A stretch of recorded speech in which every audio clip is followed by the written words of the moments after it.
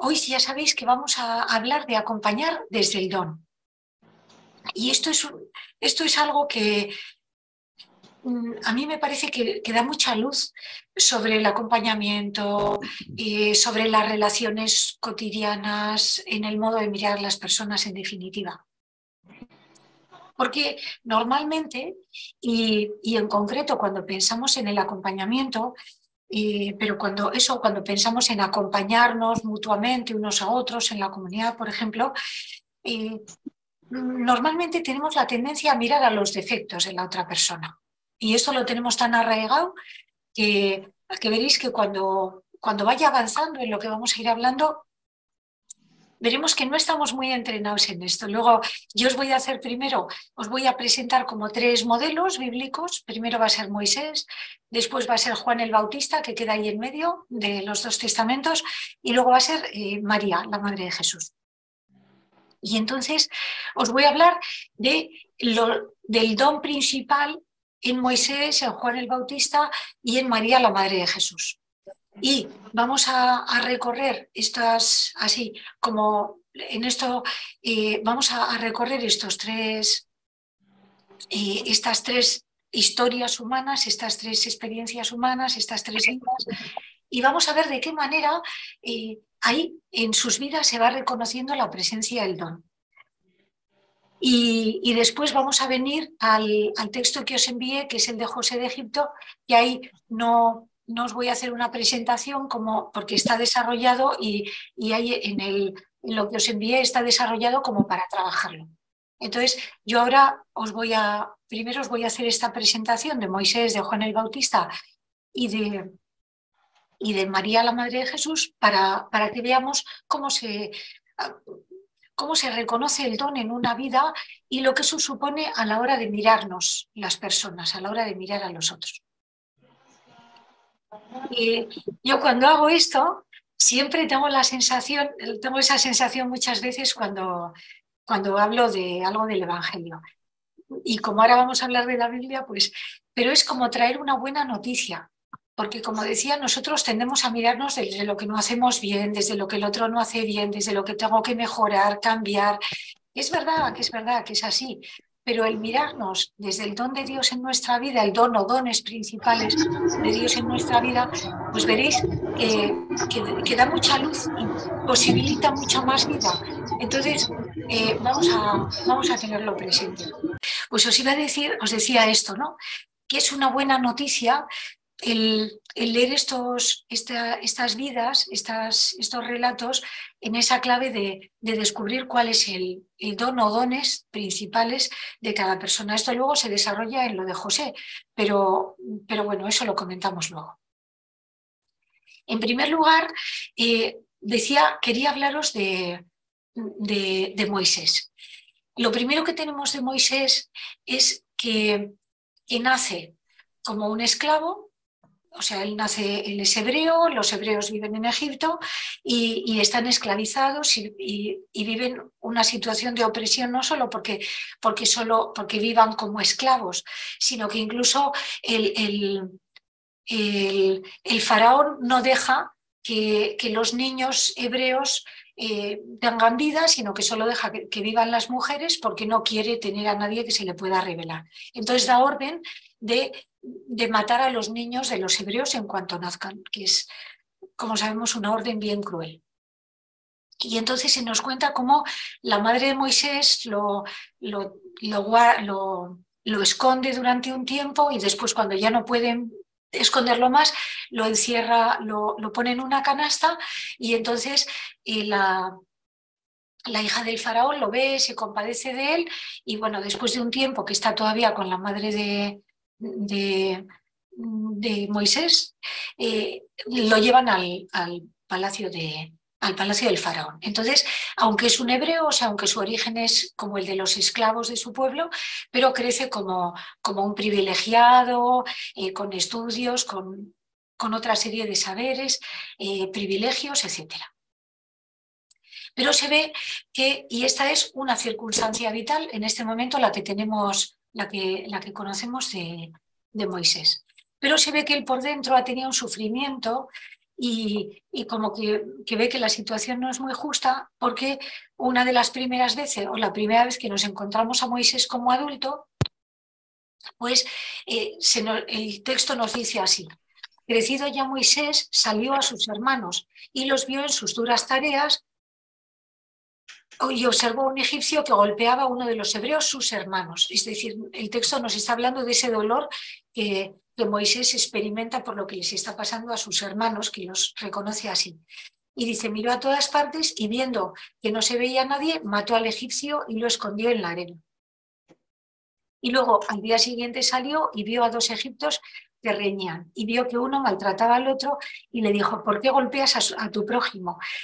Y, el, hebreo, uno de sus hermanos, le contesta, ¿quién te ha puesto a ti por príncipe y juez sobre nosotros? ¿Piensas matarnos, matarme como mataste al egipcio? Entonces, por una parte, Moisés se da cuenta de que se ha sabido esto, después lo sabrá el faraón y tiene que huir, pero también tiene la experiencia en, en esta ocasión de que los hebreos no quieren lo que Moisés viene a traerles. Y lo que estamos viendo aquí es que que Moisés, que está compadecido de sus hermanos hebreos, eh, ha querido ir a ayudarlos, ha querido ir a liberarlos, ha querido como estar a su favor. Pero ya vemos que este intento de liberar a sus hermanos eh, hebreos ha, nacido de, Moisés, no ha nacido de ninguna otra parte, no ha nacido de Dios ni nada parecido. De esto eh, quiero decir esto de que, de que Moisés ha querido liberar porque muchas veces nosotros intentamos en la vida cosas que creemos que es lo que tenemos que hacer para lo que hemos nacido, nuestros dones, pero cuando se frustran una vez y otra quiere decir que no era nuestro don, que no era lo que teníamos que, que no era lo que teníamos que hacer. Y eh, luego, como consecuencia de que Moisés se tiene que, tiene que, que escapar porque, porque el faraón sabe que ha matado al egipcio y quiere y quiere matarlo a su vez, pues entonces eh, está de pastor de rebaño, de pastor de ovejas, que las ovejas son de su suegro Jetro, y, y, en ese momento él está haciendo, pues, pues eso, lo que donde la vida le ha colocado. A partir de su ida, nada que ver con, ni con liberar a los hebreos, ni con, ni con ser uno de la casa del faraón. Y entonces nos encontramos con que en esta, con que en esta situación tiene una experiencia que es lo que más conocemos de la vida de, Moisés, eh, que, por la cual eh, Dios no solo se hace presente a él en, la, forma, en la forma de una zarza que, que, arde sin consumirse, sino que después de que él le dice, eh, yo, que yo soy Dios y, que soy el Dios de tus padres, el Dios de Abraham, de Isaac y de Jacob, le encarga una misión. Y la misión es que vaya al faraón para liberar a su pueblo que está esclavo en Egipto, que Dios se ha compadecido de su pueblo y ahora es la hora de liberar. Moisés tiene una resistencia a, hacer lo que Dios le ha dicho, pero eh, quitando alguna pequeña condición que le pone, como por favor, a mí no me hagas hablar y entonces vamos a encontrar a, Aarón que va, que, va a hablar con, con él, con, en adelante Aarón irá con, con Moisés al faraón, pero, eh, pero Dios le ha dicho que confíe en él. Y entonces nos encontramos con que Moisés ahora ha recibido una, una misión de Dios. Ya no es que él ha querido liberar eh, por, su compasión o por su mala conciencia, no sabemos por qué, a esos hebreos, sino, sino que ahora ha sido el mismo, el mismo Dios el que le da una, una misión. Y entonces eh, ya sabemos que después de esta, de esta misión que, que, Moisés ha recibido, va a ir al faraón, el faraón no va a querer en absoluto quedarse sin esclavos con lo, con lo convenientes que le son, pero, eh, pero después de las diez plagas, de ese, de, esa, de ese forcejeo entre Moisés y los, y los, y los eh, poderosos de Egipto, los magos de Egipto, pues al final el faraón no tiene otro remedio que dejar salir a su pueblo y a través de esa portentosa liberación que es el paso del Mar Rojo, el pueblo eh, se ve. Después están, atraviesan durante, durante 40 durante 40 años el, desierto y en, ese tiempo van a pasar un montón de cosas, como ya, como ya sabéis, por una parte que el pueblo va a desconfiar de Dios, eh, que ese camino va a permitir que Moisés cada vez, eh, cada vez sea eh, esté más, más unido a Dios, que cada vez vaya aprendiendo a guiar al pueblo. Y todo eso mm, Moisés va a ir viendo que hace de él un mediador. Vamos a ver cómo Moisés sube al Sinaí y recibe de Dios las tablas de la ley. O sea, él hace una, una función de mediador. Él había pensado que era un liberador, pero resulta que lo que Dios le ha dicho que sea es un mediador. Y eh, también cuando, cuando Moisés se harta del pueblo y va a quejarse a Dios y Dios le vuelve a decir, vete con este pueblo, que yo los he elegido, que yo los voy a guiar. Es Moisés, es Dios el que le va enseñando a Moisés cómo mediar. Hay otras veces que va a ser Dios el que se canse y Moisés le va a decir, por favor, sigue con nosotros, que si no yo no quiero esto. Un, largo recorrido eh, y en ese largo recorrido va a haber un momento en que esa, esa, eh, esa misión, esa misión que Dios había encargado a Moisés de ser mediador entre Dios y el pueblo, eh, en un momento dado eh, Moisés la, traiciona. Es un momento en que están en el desierto, pasan mucha sed y, y entonces el pueblo una vez más se vuelve a quejar, en este caso porque no tiene agua, y, y, Dios le dice a, Moisés lo que tiene que hacer para que tengan agua. Le dice, en presencia, vete y reúne a la asamblea, en presencia de esta, tú y tu hermano le ordenarán a la roca que dé agua. Así harán que de ella brote agua y darán de beber a la asamblea y a su ganado.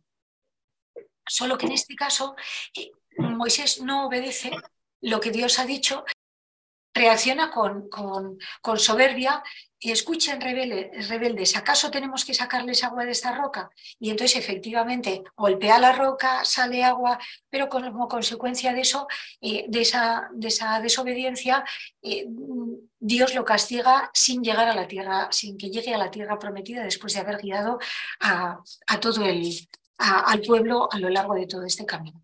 Después de, este recorrido, eh, podemos ver cómo Moisés en principio no sabía quién era, no sabe, no sabe quién es porque por de pronto no sabe si es un hebreo o, un, o sea, ni esa identidad eh, política, político-religiosa básica de, de quién soy, eh, si soy un hebreo o soy un egipcio, puesto que me han adoptado los egipcios. Eh, él quiere ser hebreo, pero intenta hacerlo a su manera, como, un, como, como un liberador. Yo, yo voy a ser el que salve a estos hermanos míos.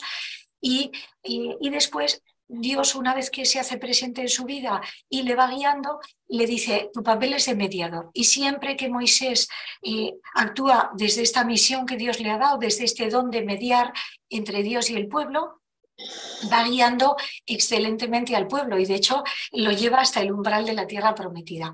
Mientras que cuando, cuando quiere hacer a su modo y se separa de lo que Dios le ha dicho, entonces eh, Moisés hierra su camino y confunde, y confunde al pueblo. Y esto Dios lo, lo castiga eh, porque es, porque es eh, aparte de que es, primero porque es faltarle a Dios, pero luego porque es renegar de, de, la palabra que Dios ha dicho sobre nuestra vida. Entonces, esto mm, para, como para recoger de qué manera mm, el don de Moisés es mediar entre Dios y el pueblo. Ese don fundamental que hemos recibido es el que luego se traduce en una llamada y en una misión. Eso es lo que vemos en la vida de Moisés. Si queréis, me, detengo un momentito ahora, si alguno tiene alguna pregunta que hacer. Si no, eh, vamos a ver otros dos ejemplos de, eh, de, esta, de esta llamada a partir de un don, de un don o unos dones en la vida, en la, en la vida de estas personas, de Juan el Bautista, os decía, y de, la Virgen María. Y, y, y, entonces, con estos tres ejemplos, vamos a, vamos a ver eh, el lugar que tiene Dios, eh, el lugar que tiene el don en nuestras vidas y lo que supone para, para nosotros. Luego, mm, eh, vamos a ver el don que ha recibido Juan el Bautista. Y el don que ha recibido Juan el Bautista lo voy a ver sobre todo en eh, los primeros capítulos, el capítulo 1 y el capítulo 3 del Evangelio de Juan.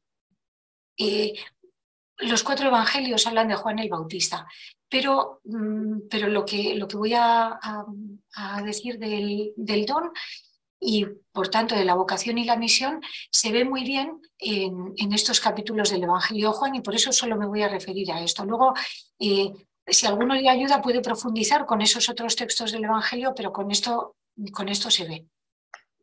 Y ya veréis que es una historia muy distinta, muy distinta, porque si, si cuando estemos en el cielo, ojalá estemos en el cielo, eh, le pedimos a Dios que nos pase la película de los dones de cada uno, va a ser una cosa preciosísima, preciosísima, por, porque somos, por eso, porque cada uno somos únicos y a cada uno se nos han regalado muchos dones. Unos principales, que son en torno a los cuales, de esto vamos a hablar después, se articulan los otros dones que podemos llamar satélites o instrumentales, pero hay uno o dos dones que son como los principales.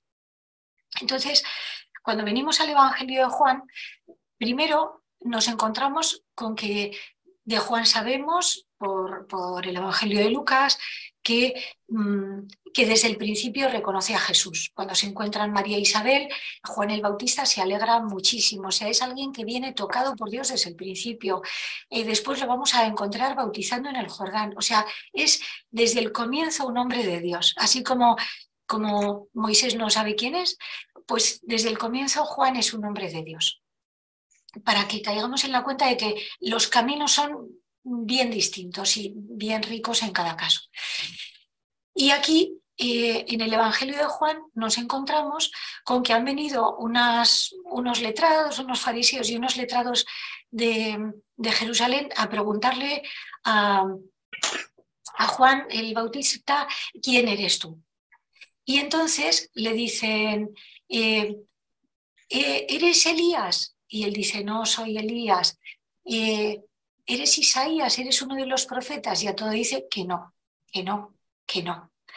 Y una cosa de las que pasa con el don, lo hemos visto un poquito esto también en, en, Moisés, es que muchas veces tardamos en descubrir cuál es nuestro don y lo primero que vemos es lo que no somos. Decimos, yo para esto no valgo, esto no es lo mío, esto yo no soy y eso nos ayuda, ese, es como quitar zarzas del camino para después descubrir quién sí soy. Y entonces, eso, eh, aquí, aquí se nos dice que, que, que, no, no, es Elías, que no es ninguno de los profetas, y entonces se ve que los de Jerusalén se impacientan ¿no? y le dicen, pues dinos quién eres. Y lo que Juan el Bautista responde es, yo soy la voz Primero dice eso, no soy el Mesías, perdón, he dicho Isaías, no soy el Mesías, no soy Elías, no soy el profeta que esperáis. Primero quitar lo que no somos. Y esto en la vida también lo tenemos que hacer. Decir, pues mira, yo para, para predicar no valgo, o yo para trabajos manuales no valgo, no es lo mío y no pasa nada, pero uno tiene que saber para qué no valgo y entonces con eso se quita, se quita espacio, se libera espacio para saber para qué sí valgo, ¿no? ¿Qué, qué soy? Y entonces primero dice eso, primero dice, no soy esto, no soy esto, no soy esto. Y, eh, y después de esto eh, va a contestar a lo que sí es. ¿Quién eres? Tenemos que dar una respuesta a los que nos han enviado. ¿Qué dices de ti mismo? Y entonces Juan responde, ¿quién es? Porque, eh, porque el Espíritu en su interior le ha ido revelando qué es lo que tienes que hacer y puede que lo supiera desde un principio, porque hay infinidad de caminos, como digo, o puede ser que solo lo haya descubierto a través del tiempo, que, que al principio dijera, bueno, veo que tengo que ir al desierto, pero no sé a qué, que luego dijera, tengo que ir a, tengo que bautizar, y veo que mi bautismo es esto, pero no es esto otro, y luego nosotros le vamos a escuchar diciendo eso, eh, mi bautismo es de agua, pero viene uno detrás, eh, detrás de eh, que viene eh, a quien no soy digno, detrás de mí, a quien no soy digno de, desatarle la correa de las sandalias, eh, Él los bautizará con Espíritu Santo y fuego. Entonces, quizá como barrunto desde el principio, como inspiración desde el principio, quizá a lo largo del tiempo, pero Juan ha ido descubriendo que Él es la voz. Y entonces esto es lo que dice a los que vienen de Jerusalén. Yo soy la voz del que clama en el desierto. Allanad el camino del Señor. Entonces, Él sabe que tiene que allanar el camino del Señor. Nosotros sabemos muy bien lo grande que es esto. ¿Cuántas veces no le habremos dicho, cuántas veces no le habremos dicho al Señor, mira, si me dijeras lo que tengo que hacer? Si yo quiero hacer lo que me digas, pero es que no sé qué es, no sé qué es, es esto, es lo otro, dime dónde y me pongo y voy a ello. No. Entonces, eso es lo que, lo que aquí, lo que aquí está.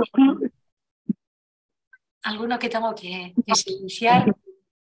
Eh, bueno, y entonces dice eso, ¿no? Entonces, eh, él, les dice que, que, es, que yo soy, que, que yo soy la voz que, tiene que, que viene a allanar los caminos del Señor. Claro, cuando sabes que eres la voz y que esta voz lo que tiene que anunciar es eh, quitar de vuestros caminos, esa llamada a la conversión, eh, quitar de vuestros caminos todo lo que estorba a la venida del Señor que ya está, que ya está llegando, pues entonces yo me dedico a eso.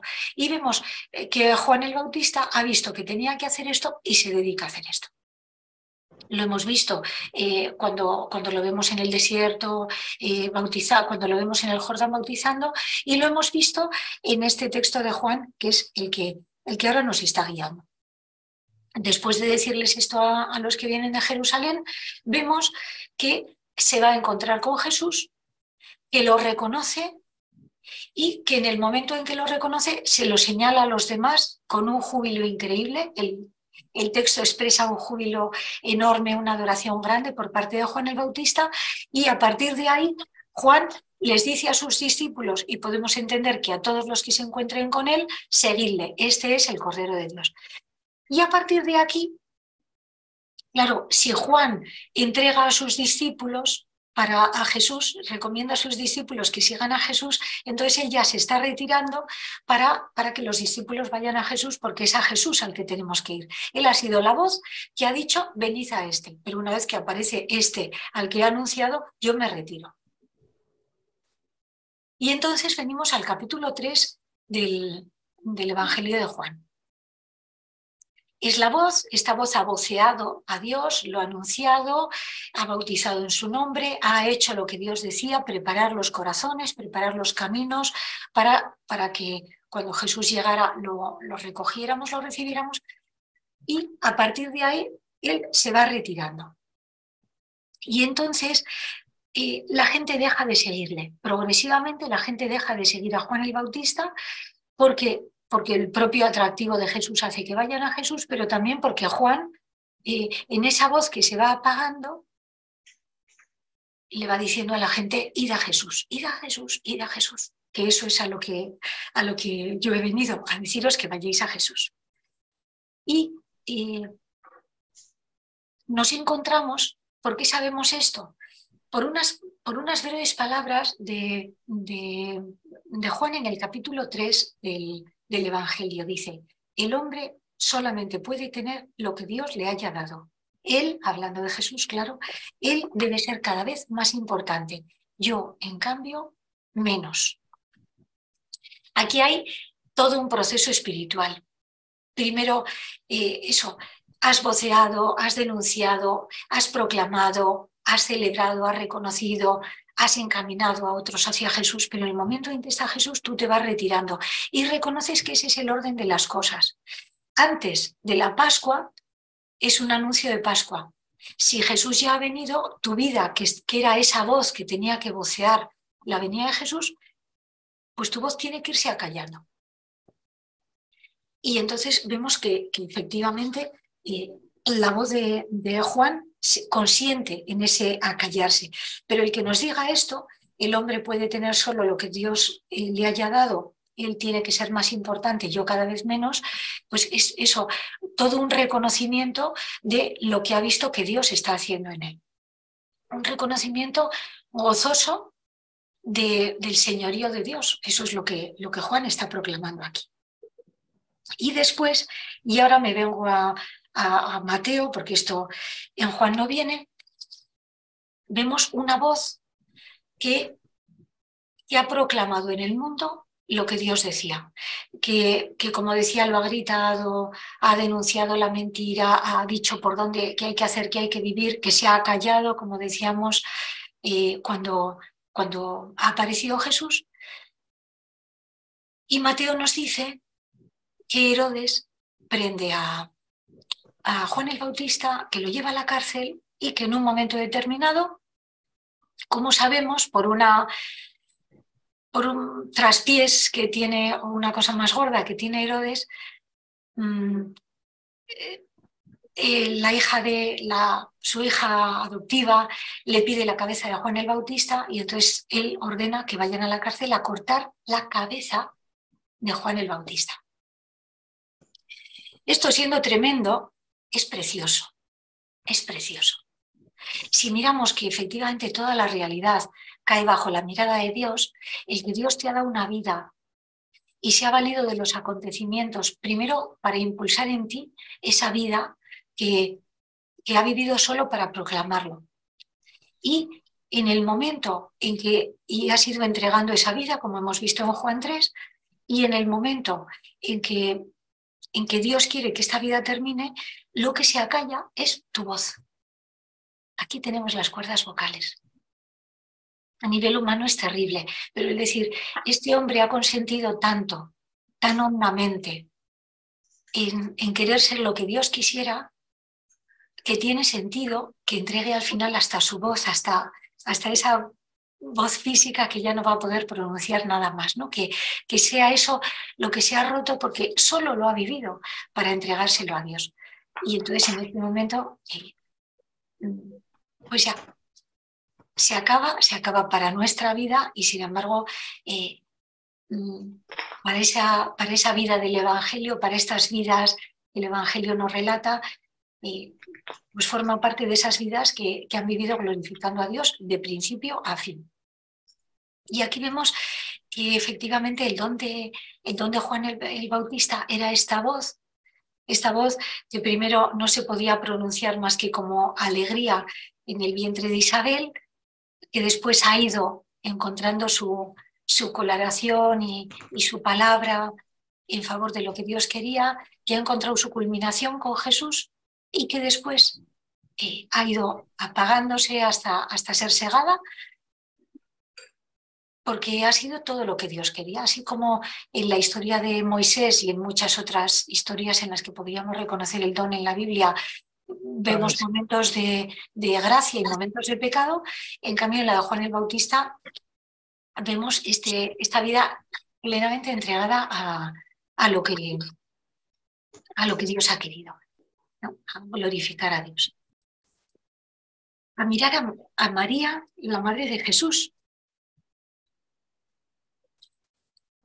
Es la historia más bonita de, de las tres que vamos a ver, es, es, la, es, es, un poquito, bueno, me voy a detener poco en los hechos porque los conocemos muy bien y no voy a comentar, se podrían comentar montones de cosas, por supuesto, pero yo solo voy a comentar en clave de don, que es lo que, lo que ahora nos, nos interesa aquí. Y lo primero que nos encontramos es con una palabra clamorosa de una mujer que ya amaba a Dios con todo su ser, María no tiene pecado, una, una muchachita que amaba ya a Dios con todo su ser y que en, un momento clave de su vida recibe eh, la vocación, la misión de ser la madre de Dios.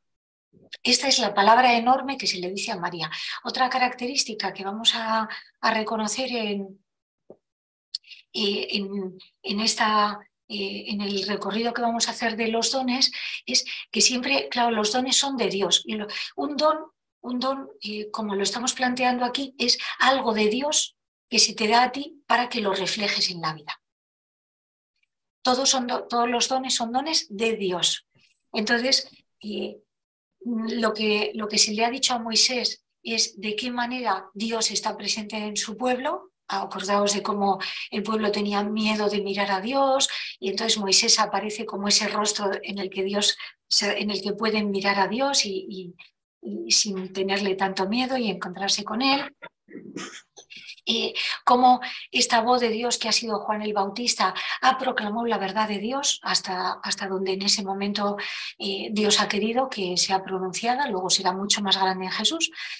Y, en María vamos, vamos a, ver de qué manera este, este modo mm, de, este modo que Dios tiene de ser padre y madre eh, nuestro se va a encarnar en María pero se va a encarnar a partir de lo que María, de, lo que María va de lo que en María se va a ir haciendo. Y en María nos vamos a fijar muy especialmente en cómo el don te va trabajando. Nosotros tenemos como una idea moderna de yo gobierno mi vida, yo conduzco mi vida, yo sé quién quiero ser, y entonces hablamos de autoafirmación o hablamos de, de autonomía, etcétera, eh, y, en un sentido psicológico esto pues tiene su lugar y, hasta es necesario que se dé en un cierto punto. Y sin embargo, cuando, cuando reconocemos eh, ese don central que Dios ha pronunciado sobre nuestra vida, vemos que no elegimos nada, porque el don te nombra, es más tú que tú mismo, y tienes que aprender a vivir desde ese don. Y eso es lo que vamos a, algo de lo que nos vamos a fijar, de lo que nos vamos a fijar en la vida de María. Y, lo primero que le ha, o sea, la palabra que, que, Yahvé a través del anuncio del ángel le ha dicho a María es eso, que seas la madre de mi hijo. Y María, que lo único que ha querido toda su vida es hacer la voluntad de Dios, se entrega a ser madre porque es lo que Dios le ha dicho que sea. Y cuando Dios te dice, sé esto, te entregas a eso. No lo haces como una cosa más, pues eres madre y a la vez vecina. No nos podemos hacer idea de cómo María es madre, porque vive enteramente entregada a la maternidad. Y la maternidad se va a ir convirtiendo en su modo de mirar la vida. Entonces, ella se va a consagrar, eso en cuerpo y alma, a, ser, a, dar vida a este hijo que, que el mismo Yahvé ha formado en sus entrañas. Y una vez que nace, se va a formar, se va, se va, a, se va a consagrar a él. Claro, esto nos da mucha luz porque cuando una persona vive un, don, vemos, eh, vemos un poco de cómo sería vivir de eso. Por ejemplo, si, si, eh, si vamos a suponer que hay un fraile que ha recibido eh, el don de que ha recibido el don de de ahondar en su interioridad así como don, porque todos lo habéis recibido carismáticamente, pero hay a quien le cuesta mucho, hay quien no se fija especialmente en eso y hay quien ha recibido un don parecido al de San Agustín a la hora de profundizar en el propio interior. Pues ese fraile es modelo para los demás, no en plan, ay, vamos a ponerle aquí, fijaos en él, porque, sino que ves cómo se vive el don de modo, de modo encarnado, de modo visible. ¿no? Es decir, esto es lo que todos tenemos que vivir. Hay quien lo vive con esa facilidad que el don te da, que tiene su propia cruz, y hay quien lo vive de un modo más esforzado, pues esto no me sale, pero tengo que intentarlo porque veo que es bueno, porque todo eso, ¿no? Pues un poco el, el don nos da una facilidad, nos da una, una ligereza, una fluidez, solemos decir ahora. Entonces, eh, María vive entregada a ser la madre de, Jesús desde el principio. Y entonces mira a este hijo y en este hijo ve a Dios, en este hijo ve lo que en cada momento es entregarse. Y si hubiéramos visto a María ser madre aprenderíamos lo que es ser madre. Y las madres podrían aprender de ella a, ser madres. Y después, eh, muy pronto, mm, tan pronto como, como a los ocho días de la presentación, escucha una palabra dolorosa, porque en la vida el amor y el dolor, y más cuando estamos hablando de dar forma al don, mm, el amor y el dolor están, vienen siempre unidos. En este caso el dolor va a venir por la palabra de Simeón, y le dice, mira, este niño va a ser motivo de que muchos caigan o se levanten en Israel. Será signo de contradicción y a ti misma una espada te atravesará el corazón. Así quedarán al descubierto las intenciones de todos. Entonces, tú que quieres ser madre, que quieres entregarte a tu hijo en un sentido como todas las madres, porque todas lo, desean, bueno, todas no, pero muchas lo desean, eh, desean ser lo mejor de, que puedan ser para, para sus hijas, para sus hijos. Eh, los padres también aprenden de esta maternidad de María, será así. O sea, aprendes a ser, a entregarte enteramente a, a esta vida que Dios te ha confiado. Pero eh, con las palabras de Simeón es como que, que su amor queda como como atravesado por un viento helado. Unas palabras que no puedes entender, pero que no, pero que no tienes ninguna duda de que se cumplirán, de que son verdad. Y que te dicen de ese destino de tu hijo, que, que tú sabes que es el hijo de Dios, que sabes que va a ser algo muy grande, pero que desde el principio viene asociado a, a, a una forma de sufrimiento, a una forma de muerte. Y, eso tiene que estar incluido en la maternidad. Nosotros también eh, sospechamos algo de esto sin, sin, ser, sin ser profetas ni cosa parecida, pero todos vemos en un niño que nace la pureza, la inocencia. Eh, la vida limpia que viene al mundo y sabemos de todas las cosas que pueden amenazar a esa criatura que, nace, ¿no? Eh, enfermedades físicas, mm, eh, faltas de afecto, eh, la sociedad o la familia en la que vive, cuánto daño se le puede hacer a un niño, ¿no? Entonces, esa presencia del dolor en medio del amor sabemos que es como, o sea, que es como desgarradora, ¿no? Y María eh, va aprendiendo a ser madre atendiendo a estas palabras que le llegan, que le llegan de Dios. Y en concreto, una palabra que se le va a decir un poco después y, es la que conocemos y por eso me detengo en ella, pero habrá habido muchas. Es como, claro, si sabemos que Dios está siempre con nosotros, ¿cómo habrá estado el Padre con María para enseñarla a ser madre? Nosotros conocemos esa palabra de los 12 años, cuando van a la Pascua, Jesús se pierde, y entonces se nos dice que María y José lo estaban buscando angustiados. Y cuando por fin, después de tres días, de tres terribles días, tres días también, otra otra sombra de la Pascua, y lo encuentran, y María salta, hijo, estábamos buscando angustiados. Y la respuesta de Jesús, la respuesta de Jesús, que puede sonar tan dura a una madre o a un padre angustiados, no sabíais que yo tengo que ocuparme de las cosas de mi padre, pero ¿dónde estabais? Es esa palabra de, hielo que dices, que, que, tienes que guardar en el corazón, como nos dice tantas veces Lucas, bueno, tantas, nos dice dos, pero que es mucho para las pocas repeticiones que hay en el Evangelio, eh, guardar en el corazón y decir, ¿qué me has dicho con esto? Aparentemente la vida no ha cambiado, dice, volvió con ellos y les estaba sujeto, pero, eh, pero por dentro dices, todo ha cambiado, me has dicho que no te pertenezco, esto lo tengo que abrazar. Y María aprende a ser madre de este hijo que ya se ha ido, aunque vuelva, ya se ha ido. Y como estas tantas que habrá habido en, el modo de hablar de, en, las conversaciones cotidianas de Jesús, María y José, que la van enseñando a ser madre. La van enseñando a, a entregarse a su hijo, pero también a desprenderse de él a, decir, este hijo me está llevando más allá constantemente, porque igual que él eh, tiene que ocuparse de los asuntos de su padre, yo también, madre, tengo que ocuparme de los asuntos de, de mi padre, porque eso, eso que es Jesús es lo que es para todos. Después, cuando, cuando eh, Jesús marche al, Jordán eh, junto al Bautista, cuando le lleguen noticias, ese, desgarro de ahora se ha ido del todo y consentir, porque María no puede ser madre diciendo como una madre normal que hay que pena me da que se haya ido mi hijo, o qué alegría porque tiene que hacer su vida, estos comentarios como humanos, rasos, ¿no? Sino que este hijo es de Dios y yo se lo entrego a Dios porque es que algo que ha aprendido de mi hijo es a querer el querer de Dios en todo instante. Entonces, profundamente deseo que haga esto que tiene que hacer. Profundamente consiento en que no se case, profundamente consiento en que la familia lo vea raro y se ría de él, lo que sus familiares eh, decían que no estaba en sus cabales, estas cosas que, escuchamos, por ejemplo, en el Evangelio de Juan.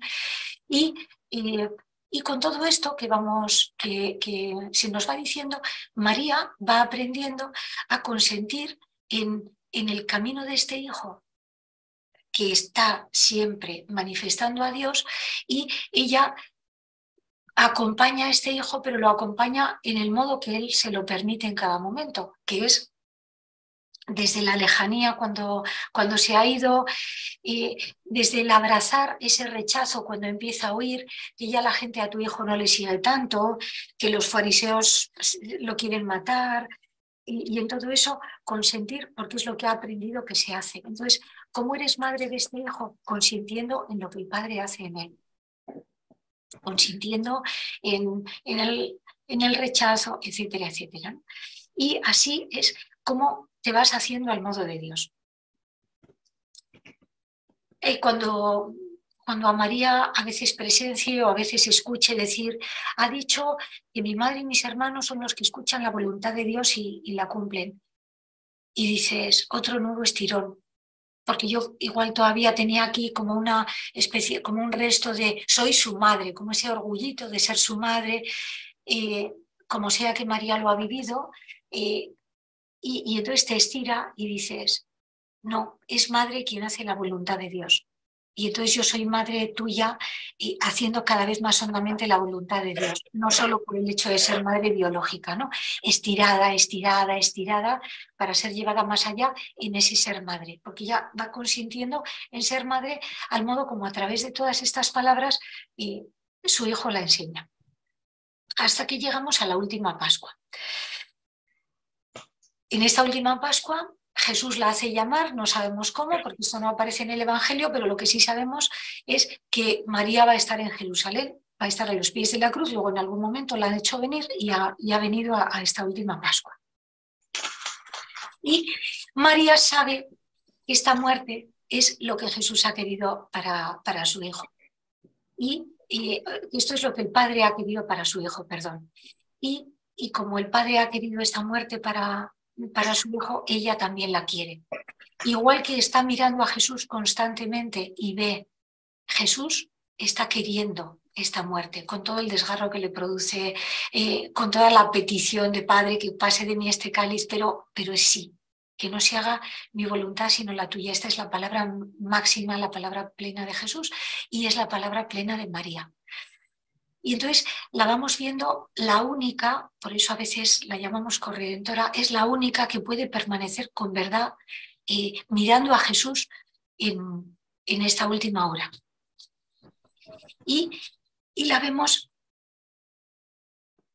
queriendo morir con Él.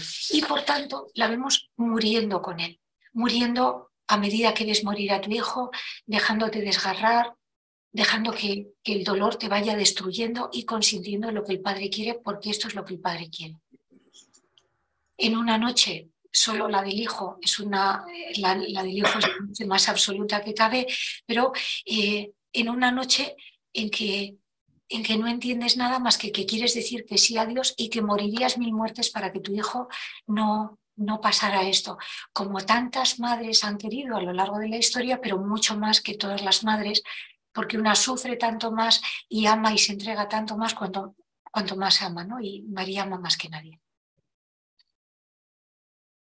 Y después de esto, eh, María se va como muriendo. Teresa de Jesús dice que, que ella lo vio en una visión, y que a María, cuando Jesús vino a sacar, a, a encontrarse con ella en la resurrección, estaba tan muerta por dentro que la costó sacarles una forma de hablar, seguramente de algo que nunca que nos sobrepasa y nunca entenderemos, pero, pero que estaba tan en la muerte, había muerto tanto con su hijo, que como que le costó venir a la resurrección, porque estaba muy en la muerte, ¿no? Tuvo que ser rescatada y eso, son cosas que nos sobrepasan. Mm, y entonces vemos que que en esta maternidad de María, algo muy importante que ha pasado es en ese momento, lo dice Juan en el capítulo 19, y en esta, esta maternidad que hasta ahora había sido por mi hijo, Jesús le pide que sea la madre de todos nosotros. Y ensanche su corazón para que eh, ese hijo que se ha hecho todo por nosotros, en nuestro nombre ha muerto, ha sufrido, se ha entregado, ha muerto por nosotros, va a morir, va a morir por nosotros, va a resucitar por nosotros. en, esa, en esa entrega del hijo y a la que ella quiere eh, sumarse con lo diciendo que sí a lo que le toque, su hijo, que tantas veces la ha estirado para que diga un sí mayor a Dios, un sí mayor a Dios, un sí mayor a Dios, en este momento le pide que sea la madre de todos nosotros. Y su corazón se, se ensanche para para cuidarse como madre, ha aprendido del hijo a ser madre para cuidarse como madre de todos nosotros, para vivir como madre de todos nosotros. Y si no podemos dudar de que ha sido una madre excelente del Hijo de Dios, pues tampoco podemos dudar de que en ese consentimiento suyo, dice eh, que recibió al Hijo, a, Juan y, y a Juan a todos nosotros, pues que, todos nosotros hemos sido recibidos en, esta madre que ha aprendido a ser madre de, Jesús, eh, en la persona de Jesús. Y entonces esta maternidad que ha aprendido de despojo de sí misma, que ha aprendido de ternura, que ha aprendido de acompañar, eh, que ha aprendido de acoger cada palabra de Dios y dejarse enseñar por Él en todo, que eso vale para la vocación de madre, en este caso ser la madre de Dios, pero vale para cualquier maternidad, en, este dialogar con Dios para dejarte enseñar por Él es eh, donde, mm, donde, María eh, se ha hecho madre y, así es nuestra madre. Y entonces, con todo esto, vemos cuál es, cuál es el recorrido que, como otro ejemplo de, vocación, de, de, don, vocación y misión que vemos en María. ¿no? En María el don es ser la madre de Dios, que se traduce en una llamada y en un modo de vivir, que es la misión. Y entonces, mm, la pregunta que nos viene a nosotros con todo esto es, eh, ¿y cuáles son mis dones? Porque ya veis que aquí eh, aparecen los, los, fallos, el pecado de Moisés, por ejemplo, pero no tiene tanta importancia como el hecho de ser, de, ser eh, alguien que se ha dejado conducir por Dios. En Juan el Bautista ni siquiera vemos, tendrá pecado, pero ni siquiera lo vemos, sino que vemos eh, cómo esa, ese don que ha descubierto, o sea, cuando ha descubierto qué es lo que Dios quiere de él, se ha entregado a ser eso con sus cualidades, porque aquí recibimos una llamada y el don es el modo de manifestar esa llamada. En este caso, ser la voz. Y, entonces él se ha entregado a lo que Dios quiere siendo la voz. Y, y desde ahí es de donde dice, sí, algunas cosas, no a otras. Y en María vemos que el ser la Madre de Dios, dejándote estirar por tu hijo, dejándote enseñar por tu hijo, eh, dejándote conducir por tu hijo, en lo que entiendes y en lo que no, eso es lo que, lo que hace que seas, que, te hagas una madre tan excelentemente que al final, eh, que al final Él te confíe la maternidad universal y, has consentido en la muerte tan excelentemente que puedes permanecer al pie de la cruz, siendo el único consuelo humano de, este hijo que, lo es todo para nosotros. Entonces, vemos cómo, mm, en estas tres historias eh, que os he contado, vemos por una parte el don, el don eh, se vive en vocación y se vive como misión, o sea, se, eh, da lugar a una vocación y a una misión. Y a nosotros nos ayuda mucho el ver cuál es, el saber cuál es, cuál es nuestro don o nuestros dones principales, porque eso nos dice de qué modo personalísimo nos quiere Dios en la vida y ya vamos viendo, ¿no? Vosotros decís, mi vocación es eh, ser Agustino Recoleto, pero Agustino Recoleto es la, la vocación que todos compartís.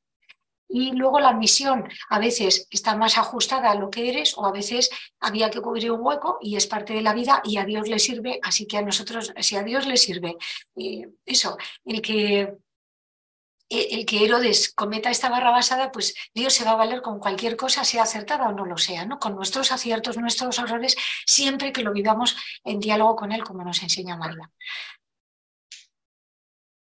pero descubrir esa coloración personal que es mi don, el decir, yo lo que ofrezco a la gente en la misión es eh, ese color que tiene la abundancia de Dios. O yo lo que hago muy bien es comentar la palabra. O, lo mío es el servicio callado. O lo mío es rezar por otros, la intercesión. Y luego haces muchas más cosas. Pero la fuente, porque también María cocinaba y barría, iba a la fuente con sus vecinas. Y Juan el Bautista, eh, también tendría momentos en que iba a visitar a su madre, ¿no? Parece que, se, estuviera muy disperso el chico, pero, pero hacía otras cosas seguramente. Pero vivía de ese fuego de la palabra que Dios había dicho en él. Entonces, descubrir nuestros dones nos ayuda a estar en la vida desde esos dones, a saber que a lo que decimos que no, no decimos por capricho, sino por, porque mm, porque no va con mi don, ¿sabes? Que si a mí me dicen, por ejemplo, si yo digo, es que lo mío es el, el servicio callado, lo que casi no se nota, y también en la relación con los frailes, como que, que acojo las, las, las, intervenciones de otros hermanos o las, o las, o las pullas o, o, los dolores muy silenciosamente y solo Dios sabe y lo que yo lo que yo me sacrifico, me entrego con esto y ese como que esa entrega callada y tú notas que es muy muy grata al Señor. Entonces si alguien te dice, pues mira, vas a ir a dar catequesis de adultos. Cuando tú no has estudiado y tienes un complejo de, poco, de falta de conocimientos tremendo, pues es que igual tienes que decir que no, pero no por ninguna soberbia, sino porque dices, mira, aquí no me veo, ponme aquí, aquí, aquí, aquí, aquí, pero esto no sé hacerlo, ¿no? Y si no, tendrá que dárseme gracia para hacerlo, porque digo, pongo este ejemplo un poco extremo porque nos ayuda a ver que esa fidelidad al don no es autoafirmación orgullosa de es que yo tengo que hacer mi camino, sino Dios ha puesto una palabra en mí y en la medida en que la cuido, en el sentido que decíamos, que, Juan el Bautista les dice que yo no soy el Mesías, que yo no soy Elías, que a mí no me pongáis cosas que no soy. Yo soy una voz. Y entonces vivo siendo una voz. Y acallando esta voz cuando ya se va acallando mi vida. Esto es lo, lo del don que, que, os quería presentar así en general. Y luego, eh, ahora comentamos, sería muy bueno porque cuando comentamos nos enriquecemos todos. Y luego os contaré cómo esto del don se aplica para uno mismo o para otros en, el, en, este documento que os entregué, que es de José, o sea, otra historia de vocación, pero en este caso la tenemos como hecha a trocitos. ¿Qué pasa aquí? ¿Qué pasa aquí? ¿Qué pasa aquí? Porque es una historia como puede ser la nuestra, y entonces vamos viendo, es como una guía para, para, leer, para aprender a descubrir mis propios dones, es como, una, como un itinerario, un ejercicio. Y es, es el don, cuando hablamos del don, que pueden ser dos o a veces, ¿no? Eh, es como muy central en los tres personajes que os he mostrado es muy central. O sea, en esta clave de mediación, Moisés se va a dirigir tanto a los ancianos como, es desde donde se va a situar, por ejemplo, en la liberación de Egipto. O sea, es tu talante para estar en la vida, es tu modo, porque es el que te ha dado Dios para mirar. O María no solo a nosotros nos mira como madre, sino que habrá mirado como madre a sus amigas, a sus vecinas, o sea, como que esa mirada o tierna o protectora o acompañante en cada momento es la que, la que, la que utiliza para todo. Entonces, el descubrir nosotros desde dónde miramos la vida y luego tenemos muchísimos más dones, por ejemplo, porque como como esto es riquísimo, por ejemplo, podemos decir, pues mira, yo tengo, yo tengo un, un don eh, de, yo, yo, tengo una empatía muy, muy fuerte, o sea, uno de mis dones principales es la empatía, o uno de mis dones eh, principales es el encuentro con los demás, pero luego, por ejemplo, en una persona esto está, está unido a, a mucha facilidad, por ejemplo, para... Eh, para arreglar motores, vamos a poner, y en otra persona eh, tiene que ver como con una como, como con una tendencia a, con timidez o con una tendencia al, a, pues por ejemplo, a todo lo que es callado, silencioso. Entonces, en cada persona va a dar como distintas, incluso los mismos dones, luego se colorean distinto, porque claro, estamos hablando de que todos nosotros tenemos montones de dones y entonces en, este ejercicio que os pongo, por una parte hay que descubrir el tronco, que es el don principal, pero luego hay muchas ramas, hay raíces eh, que van coloreando un poco el, don que somos, ¿no? Y por eso nos, nos hace mucho bien el, el descubrirnos en ese don para decir, así vivo mi vocación, así vivo la misión. Porque lo colorea personalmente, ¿no? Y por eso os animo mucho a hacer el ejercicio, a irlo pensando, a comentarlo con alguna persona eh, que os conozca y que os pueda decir, pues mira, esto yo lo veo así, o porque eso ayuda mucho a la hora de, pues eso, que es al final una forma de acompañamiento. ¿no? Yo os lo propongo, por una parte, como para hacerlo vosotros, pero también para acompañar a otras personas, para acompañar a alguien de la parroquia o, a, un, fraile o lo que sea. Yo os decía al principio que esto es buena noticia y yo creo que ya veis que es muy buena noticia. Porque os decía, no, nosotros nos solemos mirar desde los defectos. Ay, es que soy tan impaciente, es que mira, toda la vida y todavía y mi oración es tan pobre y como que tenemos una tendencia terrible a mirar lo que no hacemos bien, que hay que mirarlo, por supuesto que hay que mirarlo, pero también lo que sí, lo que, lo que es luz de Dios en nosotros, que es que es el mejor regalo que podemos hacer a los demás. ¿no? Yo quería comentar, de, a partir de lo que ha dicho Sergio, fijaos que la historia de José empieza, o sea, al principio sí, los sueños, qué bonito, era un poco pues eso, como eh, esos sueños que en todos él estaba en el centro, vemos que se sube y así, pero es tan duro el castigo de sus hermanos que lo quieren matar y al final lo, lo venden, lo echan, o sea, a veces se paga tan caro eh, lo de, pues eso, los errores que has cometido de pequeño se pagan tan caros. Y fijaos que si en nuestro tiempo alguien le hubiera pasado algo como lo de, como lo de y José se pasaría el psiquiatra el resto de la vida. Y resulta que a Dios esta situación terrible le ha valido para ensanchar tremendamente esta situación terrible, más otras que, que luego va a ir a la cárcel, ¿no? Le van a servir para, abrirse a más vida cada vez. Y con esto aprendemos que desde Dios las, los dolores y los sufrimientos se leen de otra manera. Que en el sufrimiento puede haber una clave de tu don, por ejemplo, al principio, eso, José se ha apropiado de los dones, ¿no? Yo soy la espiga que está en el centro y vuestras espigas eh, en torno a mí, y los hermanos eh, odiándole. Y, y sin embargo, luego cuando lo vemos en la cárcel diciendo, es Dios el que interpreta los dones, cuánto camino desde la soberbia del principio, una soberbia además bastante inconsciente porque era muy joven, a, esta humildad que dice, yo no interpreto nada, es Dios el que interpreta los sueños, como Dios le va enseñando a leer su don y cómo al final él se va a hacer sueño para Egipto, eh, que va a poder vivir en esos siete años de sequía, sueño para los pueblos circundantes, porque gracias a su previsión, que se le ha dicho Dios en un sueño, eh, van a poder venir a buscar alimento a, Egipto y así no morir en, ese tiempo de sequía.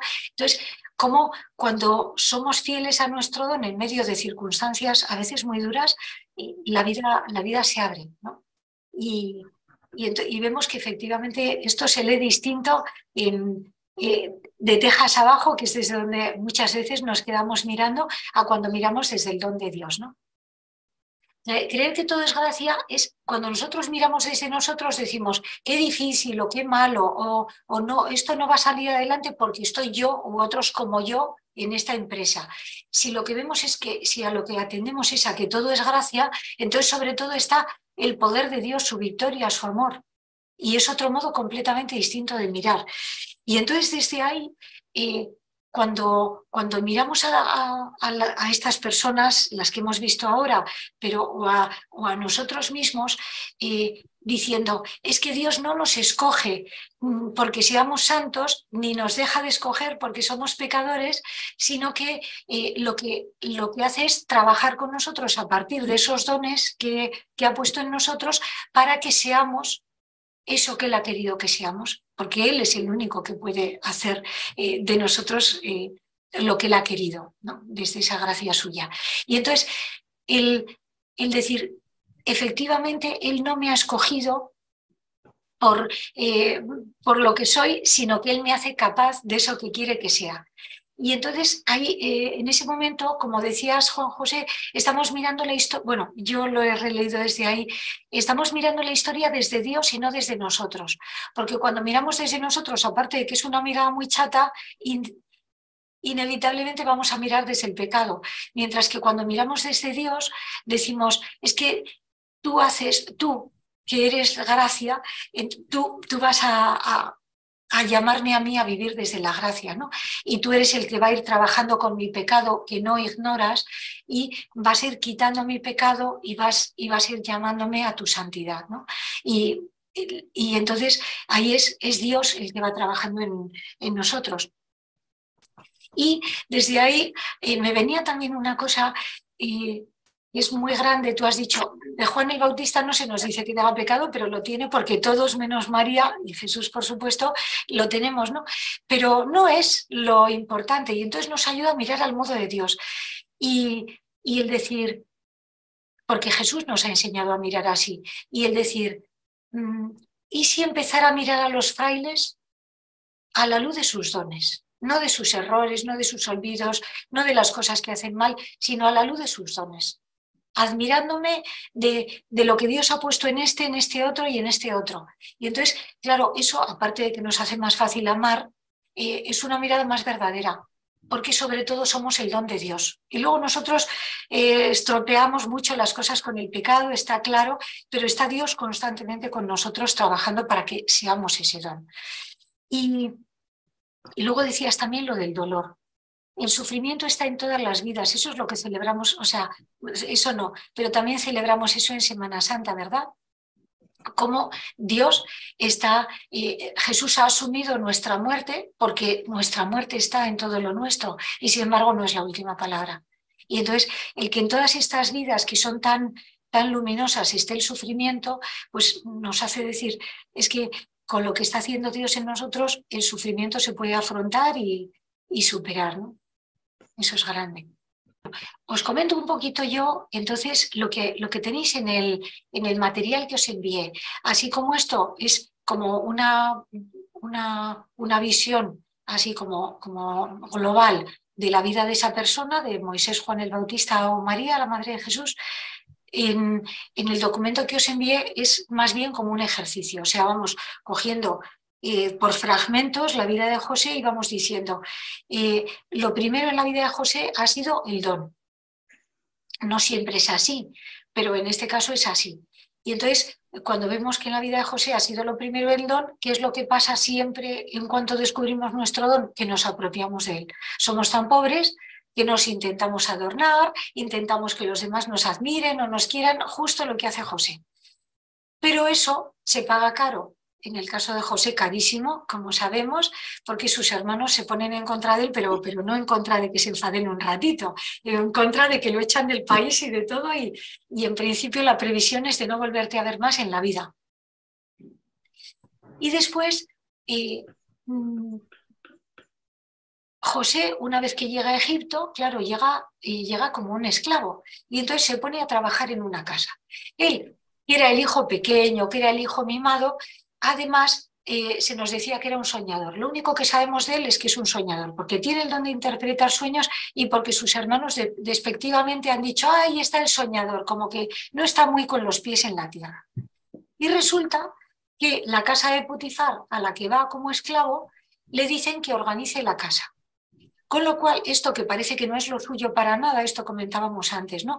Tú tienes un don y dices, pues es que lo menos mío es esto, pues a veces puede que, Dios se valga de esto, y entonces en la casa de Putifar se le dice que organice la casa, que es lo más terreno, lo más concreto que, se puede hacer. Y entonces el soñador se enriquece con eh, esta experiencia que es eh, aprender a organizar una casa humildemente como eso, como siervo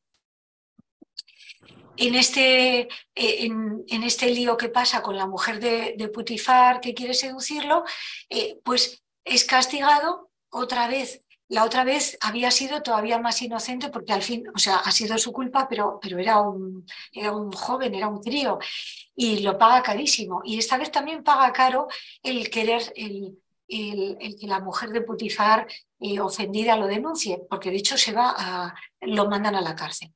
Pero en la cárcel de nuevo le dicen, sé el, el, lugarteniente de la cárcel, el, responsable de la cárcel. Y, y, de nuevo se le pone a servir a alguien que, que, se había puesto arriba él a sí mismo por sus dones, con los que se había intentado adornar, enriquecer. Y entonces va aprendiendo, mordiendo el polvo, Dios se vale de todo eso para que aprenda. Y aunque está olvidado, se ve que, Dios no se ha olvidado de él y él no se ha olvidado de Dios, que es lo que nos salva. Y entonces a partir de ahí eh, vamos viendo cómo eh, mm, primero se le da primero se le pide interpretar sueños y después le olvidan, pero después otra vez y se encuentra con el faraón, interpreta ese sueño que va a hacer que la vida se abra enormemente para él, hasta llegar a ser virrey de Egipto. Entonces, aquí no se nos está diciendo tanto, ah, llegó a ser virrey, así que tú eh, sé fiel y tendrás puestos grandes. No, sé fiel y la vida se te abrirá al modo de Dios, al modo de Dios que a veces va a ser vistoso, como en el caso de, de, José, y a veces de un modo eh, menos visible, pero experimentarás la plenitud de quien, de quien ha intentado vivir eh, profundamente lo que Dios le decía, de quien ha sido honesto, de quien se ha fiado de Dios, de quien quiere ser justo y servir a, eh, en el lugar donde le toca y ahí se abre la vida. ¿no? Y luego incluso se encuentra con sus hermanos como que Dios eh, al final se, las arregla para que se nos devuelva aquello que, que en algún momento habíamos anhelado. A veces era en esta vida, a veces era en la vida eterna, pero, pero Dios como que eh, que al final no, no le deja ni sombra de dolor, ¿no? con todo el dolor que ha sufrido por el camino. Y, entonces esto lo tenéis como en unos pequeños ejercicios en los que os voy haciendo unas preguntas para que vayáis traduciendo estas etapas de la vida de, José en vuestra propia vida. De manera que, vayáis descubriendo cuál es el, el, propio don o dones, a veces son dos, y, y entonces eh, vais pudiendo decir, ah, mira, pues yo y como que la vida, porque además vemos que la vida se simplifica enormemente cuando vivimos desde el don, porque, porque el don es lo que, lo que nos permite eh, ser lo que somos y entonces desde ahí la vida, eso, se hace, se hace sencilla y gozosa, ¿no? porque ya solo somos lo que Dios quiere, que es cuando estamos muy aferrados a nosotros mismos, nos resistimos a ello, pero cuando nos dejamos conducir por el don de Dios, la vida eso, se, se deja